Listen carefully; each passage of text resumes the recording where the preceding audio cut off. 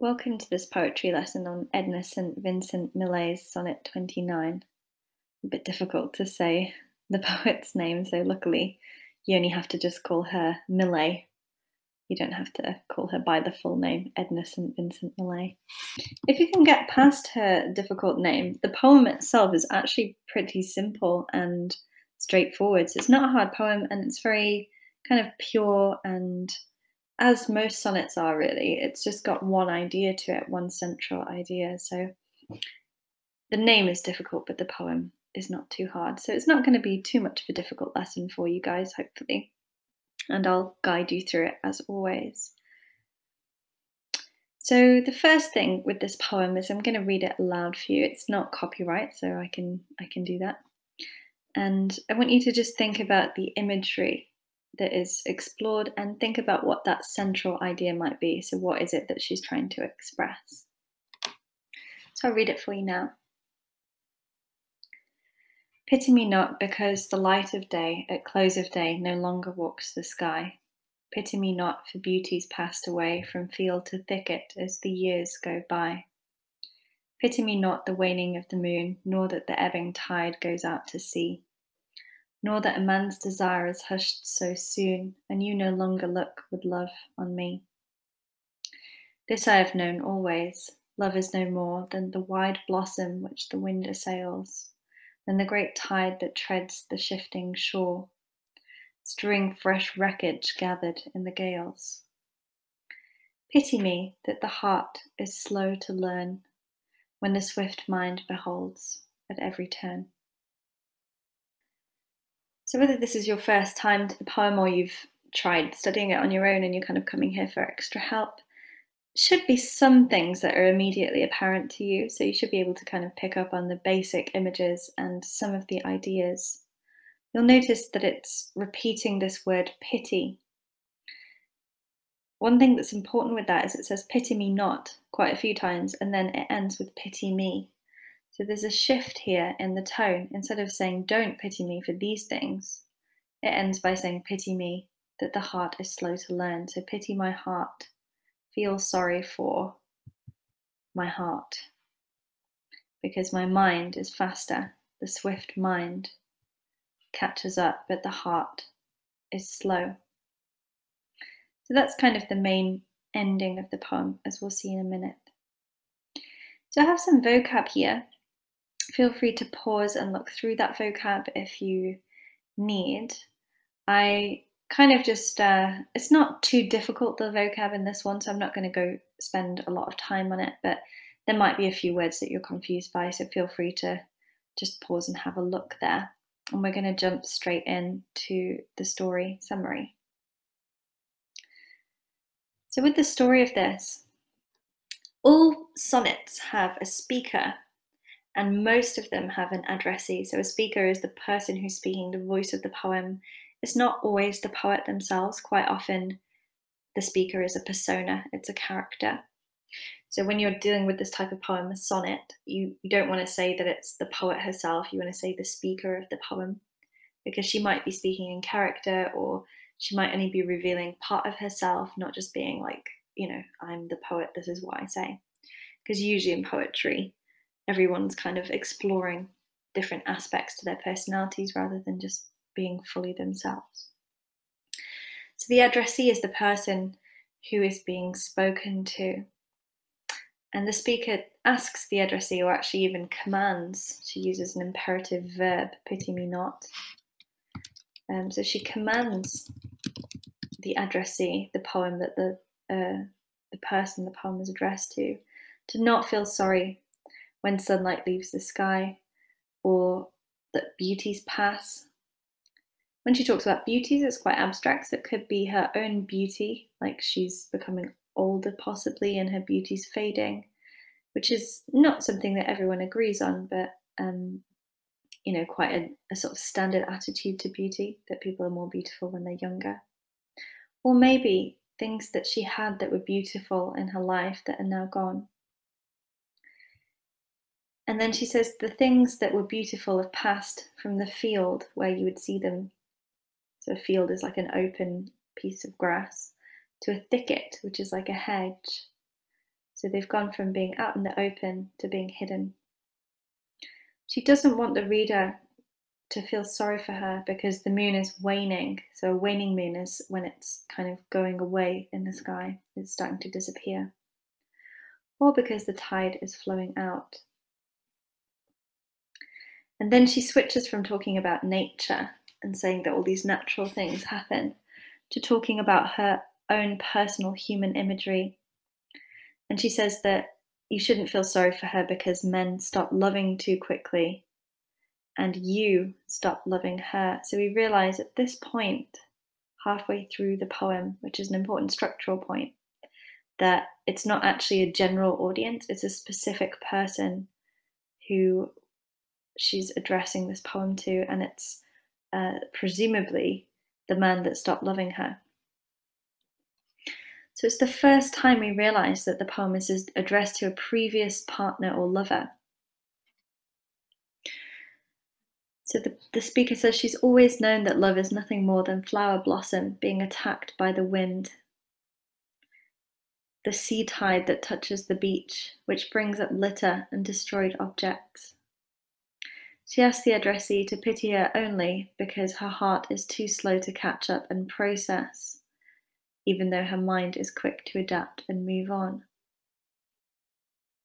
So, the general message of this poem is that all these natural things happen in life, and this is how nature works, and this is how love works, and love and humans are part of nature. So we shouldn't really feel sorry for these things happening, you know, men moving on from loving the woman they were with. The only thing that is sad or tragic is this second to last line where the heart is too slow to catch up, to process what's happened, to move on. That's the only tragedy in this expression of love.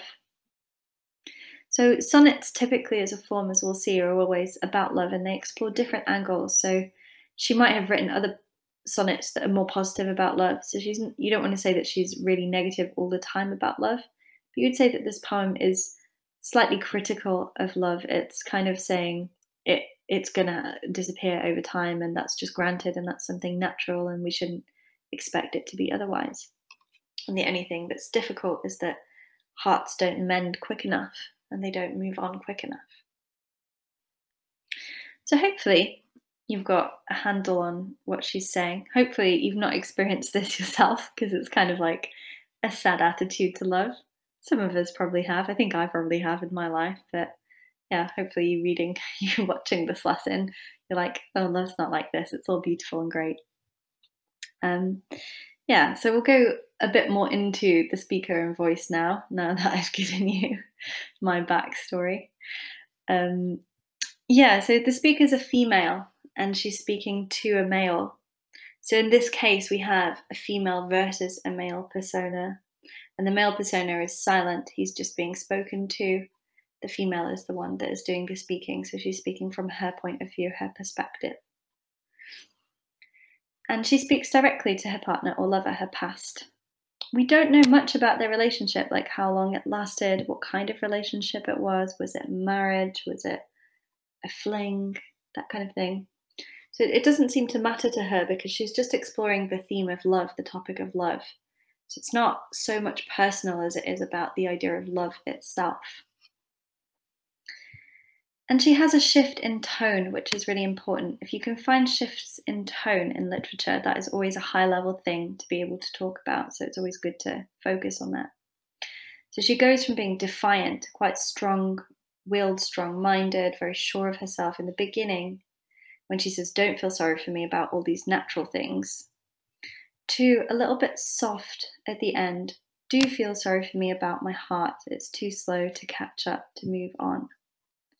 So it's more poignant, poignant meaning kind of sad, beautiful, sort of tugging at your heartstrings kind of feeling. So it kind of goes from inner strength to weakness. Like she starts strong and she's sure she's going to write this poem that's really defiant about love and, you know, and she's really independent and strong and so on. And she's like, oh, it's just natural and we all move on. So she's taking this very like strong position at the beginning on love. And by the end, she's a bit softer and weaker. And we realize that even though her mind has completely logically moved on from this situation, something about her heart is still in that place and finding it hard to recover. So it, it ends up being a softer and more complex poem than it starts out to be, which I quite like about it. Um, so, attitudes now. If you want to do a task on this poem, I recommend finding attitudes. This is a good thing to do with all poems, really. An attitude is like an opinion about something. So, what are the opinions? I've found some attitudes here, but feel free to pause and have a look yourself if you have time. If you don't, I'm going to just move on and tell you my attitudes that I found. So, I found four attitudes relating to four, four different quotations. The first one, and you no longer look with love on me. The woman is quite defensive in her attitude here. Her pin, opinion is d- defensive. It's like, you don't love me. It doesn't, it's not double sided. It's not they don't love each other, they've fallen out of love. It seems like the woman really stayed faithful to the man, and the man is the one that changed and decided not to love anymore. So it's almost accusatory. It's almost as if she's accusing him in this short sentence. You can analyze it further. You can see how there's like L repeated there. So we have a alliteration and so on. Pity me that the heart is slow to learn, it suggests that the woman wants the man to understand she doesn't know how to recover. So the only thing that he should really help her with, or give her time for, or feel sorry for her about, is that her heart is slow to catch up, as I said before. So she's finding it hard for her emotions. The heart is a sort of symbol that we use in literature to represent um, your soul or your feelings, your emotions, that kind of sensitive side of yourself rather than the mind, which is the logical, practical side. So she's saying, My mind's completely in the right place and I totally understand, but I don't feel. There's a difference between your mind and your heart in that sense. I don't feel like I've recovered. So, yeah, with this mind, it's logical, and with the heart, it's emotional. And there's a disconnection between those two in terms of her attitude to her previous lover. Finally, there's kind of clear attitudes on nature. So, light of day fades into night, beauty disappears over time, the moon wanes, the tide ebbs. Ebbing is where it goes out, waning is where the moon day by day slowly disappears until there's no moon in the sky. So these natural processes, as things grow and move forwards, they also fade and disappear. And that is a very natural kind of transition, a natural process in the world around us. So she believes that relationships and uh, human interaction is the same because she's sort of saying all of nature functions on these mechanisms. Good. So hopefully you found similar attitudes. If you found different ones, there are loads of attitudes there. So um, you know it's good if you found separate ones from mine. And hopefully you're feeling quite confident with the ideas of this poem by this point in the lesson. So again, you're welcome to do that with language features. Find your own first if if you have time. The benefit of doing that kind of thing is it just like gives you a bit of your own time and space to think about the poem first before I tell you what my opinion is, so then you have a bit more data, a bit more information. But if you don't have time, we'll move on to a few language features. So the first one is anaphora. Pity me not, pity me not, pity me not, pity me. You'll notice that it repeats loads, but it, it goes from a, a negative phrasing to a positive phrasing there. Um, conversely from what she's trying to prove, so the opposite from what she's saying, which is, oh, I've moved on, I'm fine. She's repeating this so much, it might suggest obsession over the relationship or obsession or fixation on the idea of this, this lost or broken love. It might indicate that her brain is trying to give her lots of different reasons about why she should accept it and move on. So sort of like her mind is kind of fighting her heart and it's trying to just be like, well, there's this and this and this. And that's why she's giving all of these different natural examples of how things grow and then fade. eventually the phrase becomes positive, as I said. And that suggests perhaps that she has finally, by the end of the poem, let her emotions overcome her. That the no matter how many reasons the mind comes up with, the emotions win in the end. So the visual imagery you should have kind of developed a sensitivity for already because we looked at that right at the beginning. Mainly it's natural imagery. So it's a way to describe love as a natural process by observing nature and how it works and trying to compare that to the way that love works. So the word comparison is important there. She's making a comparison. Alliteration. There's a lot of this. And um, I've given a detailed example of one analysis of alliteration if you're interested in that. So feel free to have a look at that in the notes at the end of the lesson. Metaphor is quite important, which is why I think probably why I, I coloured it slightly differently. Maybe that was just accident, I don't know. I just realised it's like different font and different colour. But basically, the metaphor is, uh, or metaphor is kind of a thing that she's using all the time. So almost every visual image is a different metaphor about love because of this comparison thing. And that is a very high level point to make in an essay about this poem.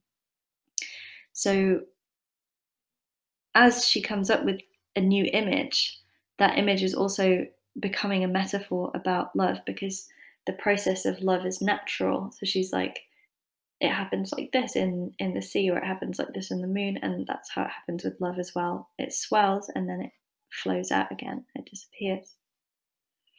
So it suggests that love is cyclical, that it goes up and down. And she suggests that a man's love for a woman always ends, which I think is a little unfair, personally. I think it's like equal both ways, in my opinion. So I think sometimes women, you know, can go off the man, men can go off the women. If you have relationships that are both male or female, that can also disrupt. So I don't think it really matters what gender um, what gender is kind of like doing the loving versus the the waning, the disappearing of the love. But I do think that it does happen in relationships. It's an interesting aspect of love to explore, and in a way, it's a bit more realistic and more um, more subtle, like more complex than just being like love is beautiful and perfect and so on. So even though sonnets are about love, she's not just exploring like the nice bits about love. She's trying to think about more difficult stuff to do with love, harder stuff, maybe painful stuff, as well as the like nice bits of it. Um, the waning of the moon, this was more symbolism. I didn't actually write that in there, did I? I can sort of write that now. so, symbolism. The moon is often used as a symbol for kind of romance because um, basically, like, I don't know, in literature generally, people meet at moonlight, or it's kind of like a, a beautiful time of day where moonlight kind of makes things look pretty and silvery. It's quite sensual and romantic. So the idea of moonlight fading, the moon waning, slowly disappearing, suggests that this this period of romance is over. Um, so it's quite a nice symbol there as well. So structure then we've got a few um, a few points here. I'm going to actually just bold the um, bolden the bits that are technically a structure or form point, just so that when you use those in your essays, you know what these things. You know, you know that this is like a term, like a structural term, basically. Um, yeah. So the first one, it's a traditional Shakespearean sonnet. So this is a type of sonnet invented by Shakespeare. Feel free to look into the specifics of the rhyme scheme and how that is Shakespearean if you want. The main thing with the Shakespearean sonnet is that um, there's a tormented lover.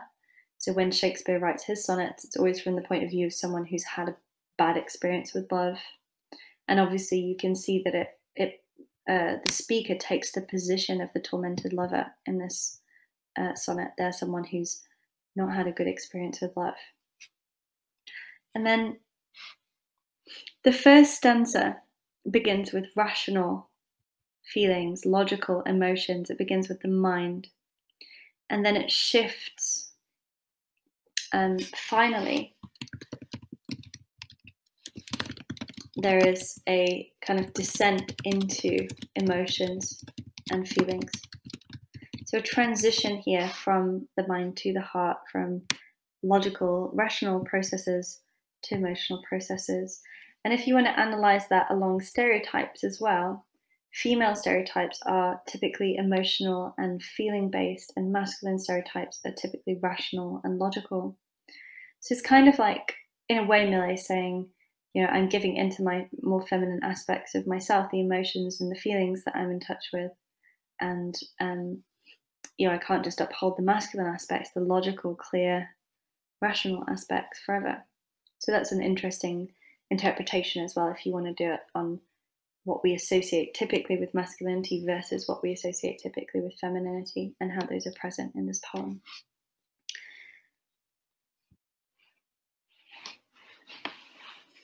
So, um, tiny bit of context here. Depending on your exam board, you may or may not need context, so double check that if you're uh, studying this for a particular reason, rather than just you just follow my lessons. I know. I, I, really hope there are just people out there that like poems and follow these lessons, but I, I assume most of you have a reason, you know, just like a poetry fangirl like me.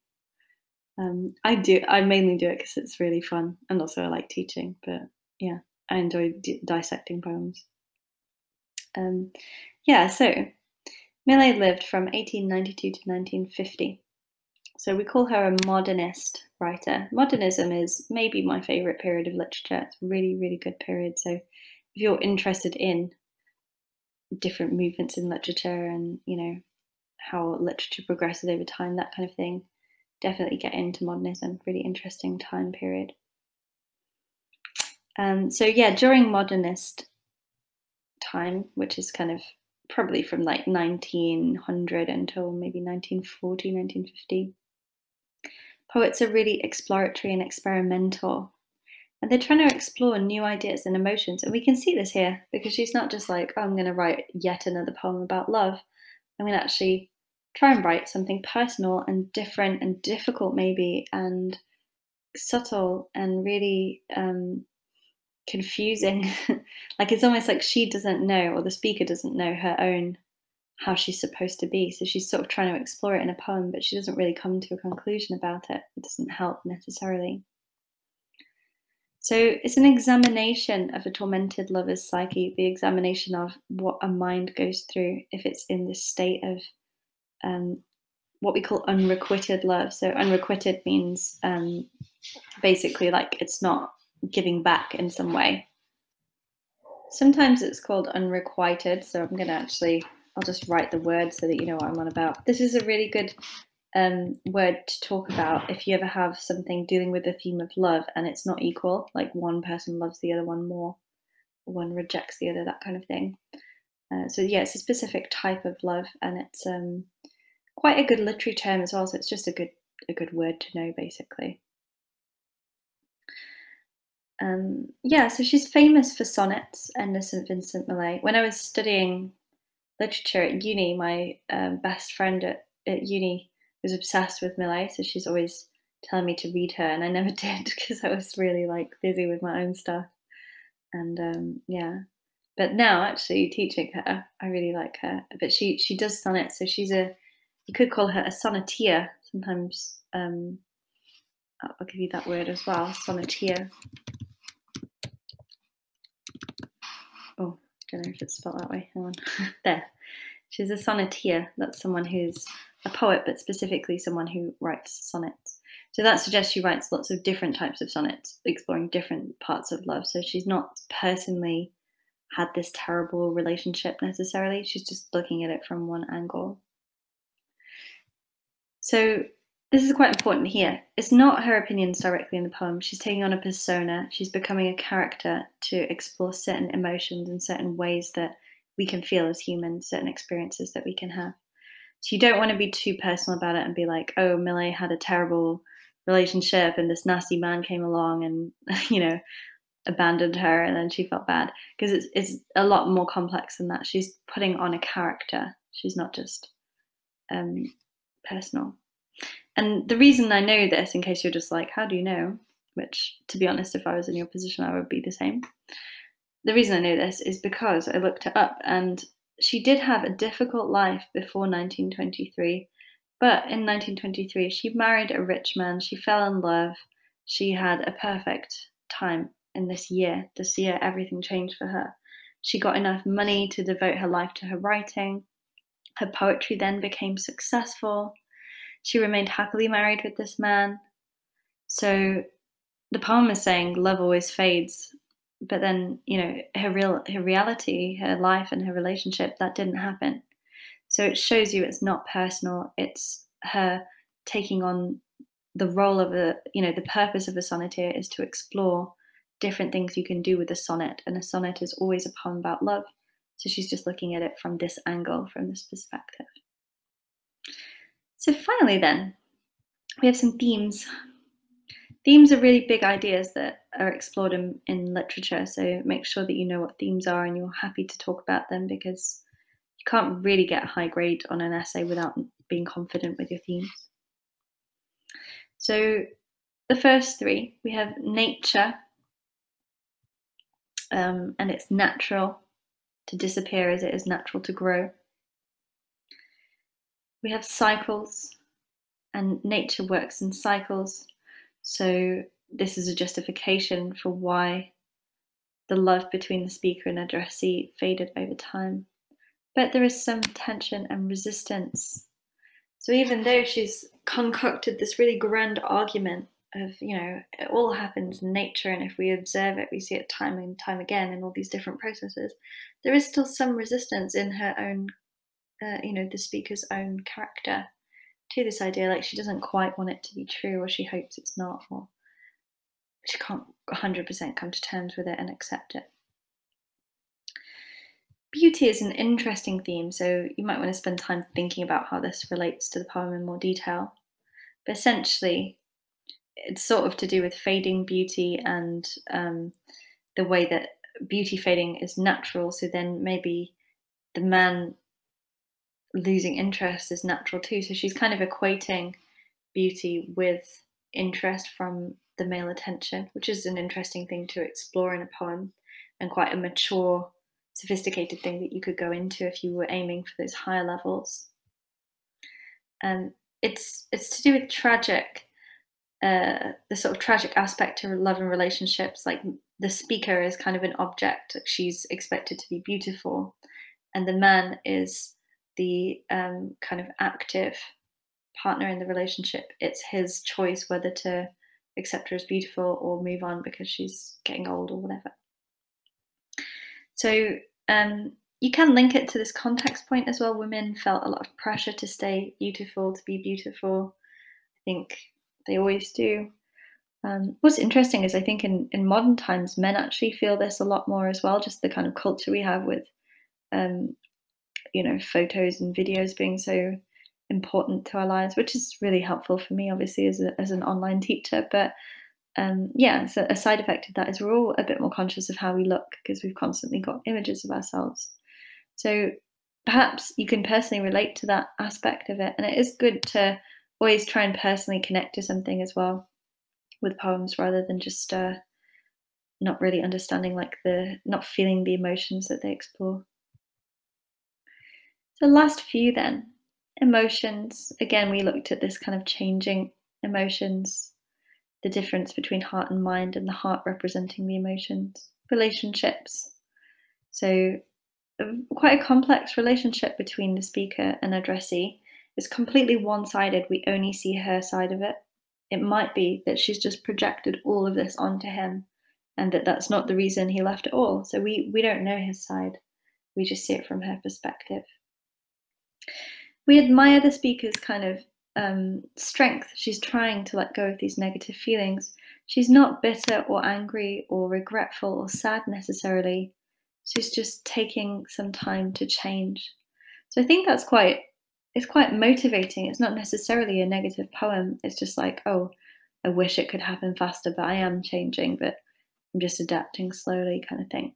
Um, there's a lot on love as well. I've kind of given you a few notes there, and a lot on psychoanalysis. I didn't really fill out psychoanalysis loads because it's more of like an A level and above thing because it's it's quite complex. But basically, it's like if you look at kind of how the brain functions, and um, it was a very new discipline in the modernist era. So loads of poets and artists and writers became quite interested in this idea. So definitely delve deeper into that if you're more interested in those ideas. But if you're confused by that word, no need to go into it, so don't worry.